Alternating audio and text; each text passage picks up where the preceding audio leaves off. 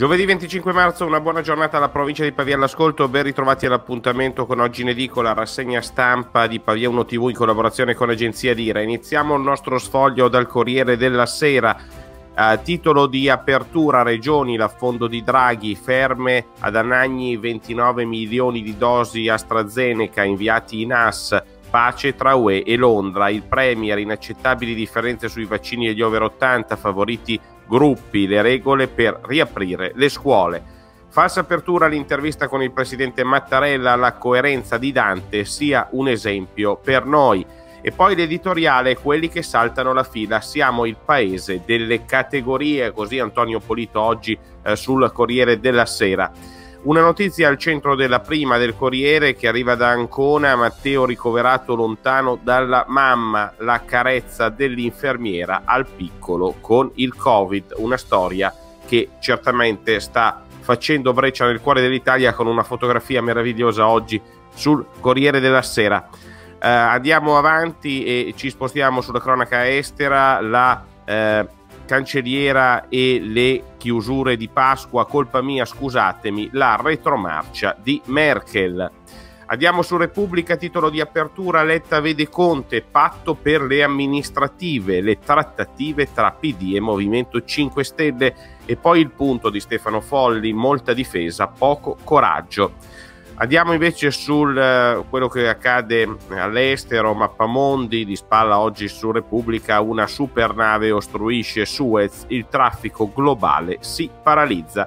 E al centro della prima di Repubblica di oggi, vaccini, Draghi spinge la UE, più contratti con Big Pharma, oggi il Consiglio europeo con Biden si punta a ottenere materie prime e licenze per aumentare la produzione verso l'intesa tra Bruxelles e Londra sulle forniture. In Italia l'ipotesi di mantenere le chiusure anche dopo Pasqua. Il Premier e alcune regioni trascurano gli anziani e seguono altre priorità.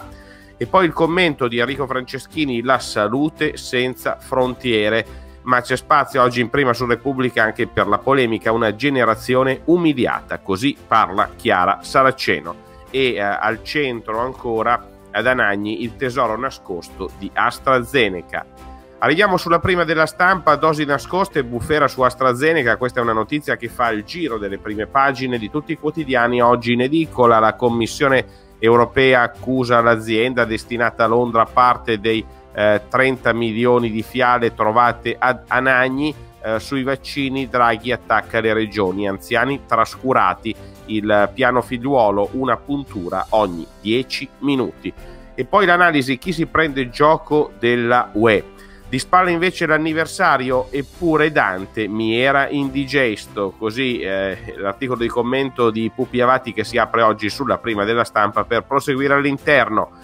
E poi eh, la fotografia proprio in evidenza anche sulla stampa, i sorrisi del piccolo Matteo e l'amore che ridà speranza e poi invece Letta Conte patto sui candidati nei comuni, adesso il segretario Demi incontrerà Meloni e Salvini per parlare di riforme.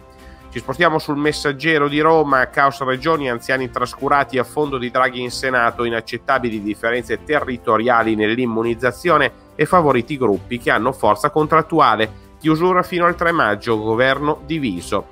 L'editoriale Il nodo commercio, la visione del Premier di un'Europa più autonoma e poi UE e Regno Unito verso l'accordo per i vaccini, AstraZeneca 29 milioni di dosi bloccate, Blitz dei NAS nell'impianto di Anagni.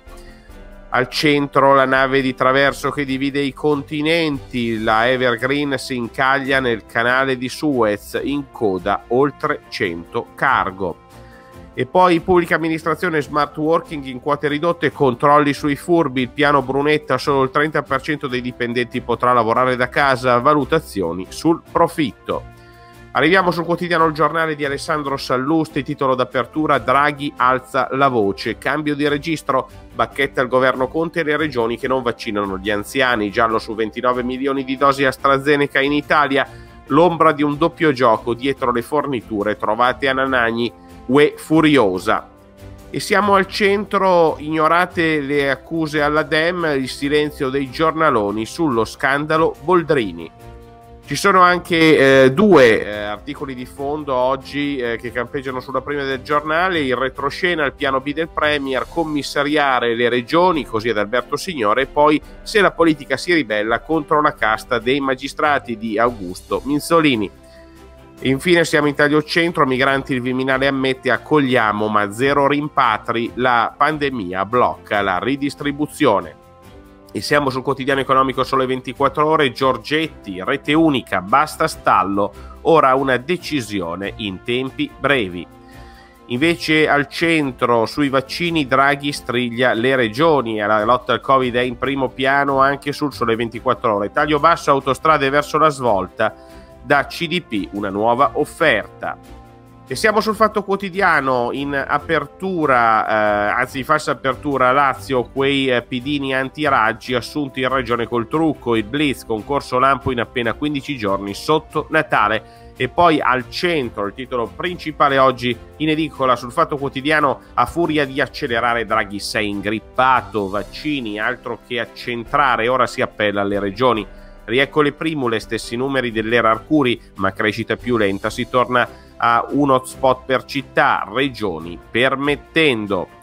E poi i sondaggi tra condono e vaccini, il governo al 48%, Conte al 61% e Lega meno 7% nella sua Lombardia. Così oggi sul fatto quotidiano. Andiamo sul quotidiano avvenire, trascurati gli anziani, il piano del governo prevede centri vaccinali aperti 12 ore al giorno, intesa tra la UE e la Gran Bretagna sulle esportazioni. Draghi critica le regioni sulle priorità nelle vaccinazioni, primarie aperte dopo Pasqua in zona rossa, giallo su 29 milioni di dosi di AstraZeneca stoccate ad Anagni, il sospetto di un export verso Londra. E poi l'editoriale tra calcoli e umanità, la ripresa di iniziativa italiana in Libia. Andiamo al centro, assegni per i figli, scatto alla partenza martedì al Senato. Arriviamo sul quotidiano Il Tempo, parte la crociata contro Pfizer, cattolici eh, USA e Vaticano contro il caro vaccino, alleanza fra gruppi sanitari e ordini di suore cattoliche per fermare il prezzo delle fiale, comprate azioni del colosso per intervenire in assemblea e fermare i piani dei manager, depositata già una mozione che ricorda tutti i soldi pubblici dietro la scoperta del rimedio. E poi eh, il tempo di Osho, la vignetta satirica che ogni giorno campeggia sulla prima del tempo. Draghi accusa le regioni troppe dosi ai furbetti. Guarda che ve ne faccio rimanere rosse fino a Natale. Eh? E poi taglio centro, vaccino a mezzanotte. Il telefono è rotto. Nel Lazio, iniezioni anche in tarda serata. Impossibile prenotare o disdire. Il numero è in tilt. Andiamo sul manifesto e eh, falsa apertura, stallo post voto Israele punto a capo, nessuna maggioranza certa e Netanyahu minaccia le quinte elezioni. Ma la fotocopertina, eh, tradizione sul manifesto, disastra. Alla vigilia del Consiglio europeo di oggi scoppia il caso dei 29 milioni di dosi del vaccino AstraZeneca stoccate nello stabilimento di Anagni. L'ispezione dei NAS e l'azienda smentiscono che fossero per il mercato extra UE, Bruxelles verso la stretta sull'export. E siamo sul quotidiano Il Dubbio, titolo d'apertura, processo mediatico, l'Italia deride la UE e la Costituzione.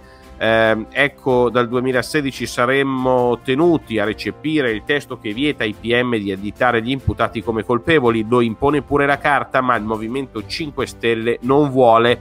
Spanger spiega cosa nasconde la lite alla Camera per la direttiva sul diritto penale.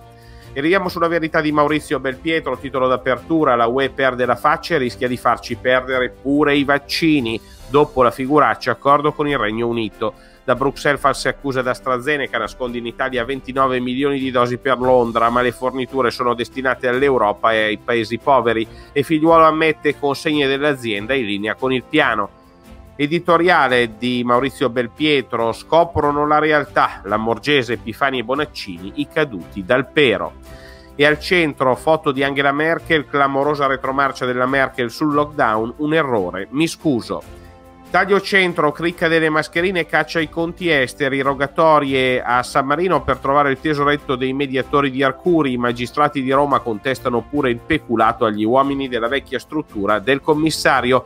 il sospetto sapevano delle maxi provvigioni. Arriviamo sul quotidiano Mattino di Napoli, vaccini, anziani trascurati, Draghi accusa regioni nel caos, ritardi inaccettabili, la UE agisca o noi da soli, AstraZeneca, il governo invia in assa Danagni e giallo su 29 milioni di sieri stoccati. E poi l'editoriale, prenotazioni flop, il ritardo digitale alleato del virus e al centro sud il recovery non può colmare tutti i ritardi. Stati generali, l'avviso del ministro eh, del MEF Franco Carfagna, metà dei nuovi cantieri nel mezzogiorno. Andiamo sul secolo XIX, siamo in Liguria, infettati da lavoratori Novax, Liguria, nuovo caso in ospedale, Draghi e i vaccini. Alcune regioni trascurano gli anziani, Toti, basta polemiche, il Premier riduca la burocrazia e intanto Lavagna un operatore contagia 8 pazienti, il procuratore Cozzi, possibili sanzioni se chi rifiuta il farmaco non viene spostato. E poi al centro, alla fiera di Genova, il centro da 3.000 dosi al giorno. Taglio basso, autostrade Liguri, cantieri sono un caso e allarme per la sicurezza dei trasporti, due morti in 15 giorni e i tanti lavori sulla rete scatenano la protesta di operatori e istituzioni. E siamo sul quotidiano nazionale Il Giorno, ci vaccineranno fino a mezzanotte e qui eh, si torna sul tema iniezioni 12 ore al giorno, liste in base all'età, Draghi striglia le regioni, qualcuno ha trascurato gli anziani, scuole da riaprire, spy story su AstraZeneca, i NAS trovano 30 milioni di dosi a Pomezia dirette fuori dall'Italia, braccio di ferro tra UE e Londra. E poi invece l'editoriale, eh, il mea culpa e il declino di Angela Ladura, Merkel cambia idea sui divieti. Così Roberto Giardina oggi nel suo editoriale sul quotidiano Il Giorno Quotidiano Nazionale. Al centro c'è una foto Papa Francesco, la povertà di Francesco, crisi e pandemia. Il Papa avvia la spending review in Vaticano, tagliati gli stipendi dei cardinali e bloccati gli scatti d'anzianità. Dalle città Lombardia al nuovo piano sono 30.085 i morti, AstraZeneca sarà destinato anche agli over 80. Andiamo avanti e ci spostiamo sulle cronache sportive. Il Corriere dello Sport, di Bale sul mercato, Nedved conferma Pirlo, ma per Paolo si aprono nuovi scenari. Titolo principale, riscatto mondiale contro l'Irlanda del Nord via le qualificazioni, 20 e 45 su Rai 1. Mancini, partiamo bene, è la gara più dura. E siamo sulla Gazzetta dello Sport, buon viaggio Italia, ore 20 e 45 parte la missione Qatar 2022. Al centro resta la Juve ma vuole rinforzi, CR7 fumata bianconera, Ronaldo tra fiducia e richiesta di una rosa più competitiva, Summit con il club a fine stagione. Andiamo su tutto sport, Italia mai più un'altra Svezia, questo è il titolo in falsa apertura, mentre invece al centro avanti con Pirlo e CR7. Arriviamo alla cronaca locale, siamo sulla provincia pavese, superati 30.000 morti, la Lombardia resta rossa l'anticipazione del direttore generale della sanità regionale Pavesi, l'indice RT scende ma i ricoveri aumentano, niente cambio di colore prima di Pasqua e forse fino al 12. Andiamo avanti e in taglio centro nell'ora di religione la storia di un ragazzo ghanese, centinaio non apprezza e Cattaneo lo bacchetta. E a, da Voghera tanta solidarietà a Vale Aurora, quel bacio gesto d'amore. Andiamo avanti e ci spostiamo eh, invece su Vigevano, cronaca, Vigevano muore di Covid in ospedale, Catenina sparita e succede anche questo. Andiamo invece a eh, Casorate, travolto dal carrello, grave un agricoltore. E con questo si chiude il quotidiano appuntamento con oggi in edicola. Buon proseguimento con i programmi di Pavia 1 TV.